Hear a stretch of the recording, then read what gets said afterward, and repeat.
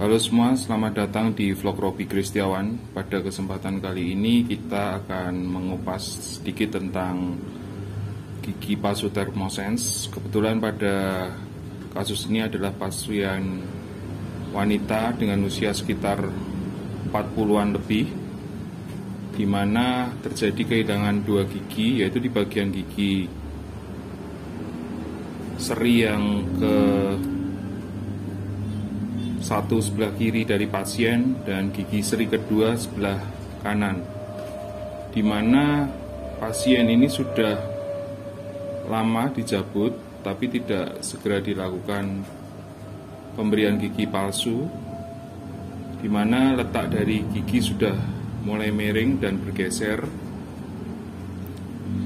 Nah, untuk pemilihannya ini kita berikan uh, jenis gigi palsu thermosense seperti ini di mana bentuknya mirip seperti gigi Plus, tetapi secara kekuatan akan lebih baik untuk penggigitan juga akan lebih baik di mana plat uh, akan lebih kuat dibanding Plus. Uh, ini terlihat uh, untuk Thermosense itu platnya akan lebih kuat biasanya, tapi mempunyai sifat juga ada lenturnya Nah, untuk pemasangannya adalah sangat mudah seperti ini.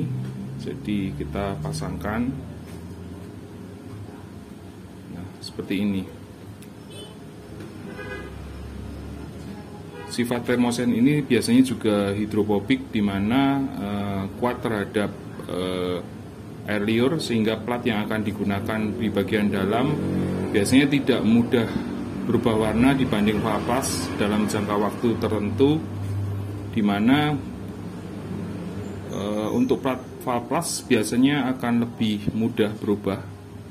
Untuk thermosense ini biasanya akan lebih kuat karena dia mempunyai sifat hidrofobik. Jadi e, dengan adanya air liur dia akan lebih tahan sehingga biasanya akan lebih awet dan untuk Eh, kekuatan tekanan juga akan lebih baik di mana posisi eh,